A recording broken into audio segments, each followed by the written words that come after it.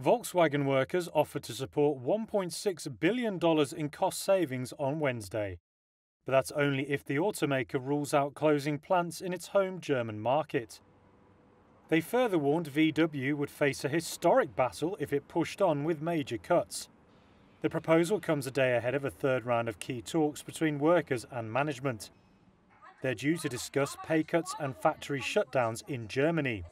It comes as Europe's biggest automaker struggles with high costs and Chinese competition. The leading IG Metall union said Wednesday's offer was dependent on stakeholders pitching in. That includes VW's controlling Porsche and Piech families. Reuters saw an internal VW memo from one board member. It said management welcomed that unions were open to tackling labour costs and capacity, but they added factory closures couldn't be ruled out. Any factory closure would be a first for Germany in the group's 87 year history. The union's proposal included foregoing bonuses for next year and 2026, among other savings. On Wednesday, Works Council Chief Daniela Cavallo said it was not blind to the market changes, but she added overcapacity could be tackled without shedding jobs.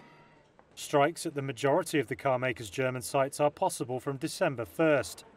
The company has said deep cuts at its core VW brand are needed to make it fit for the future. VW rival Ford also showed on Wednesday the struggles that car makers face in Europe. The US giant said it would shed around 14% of its European workforce. It blamed major losses in recent years made worse by weak demand for EVs and rising competition. It said the 4,000 job losses would be mostly in Germany and the UK.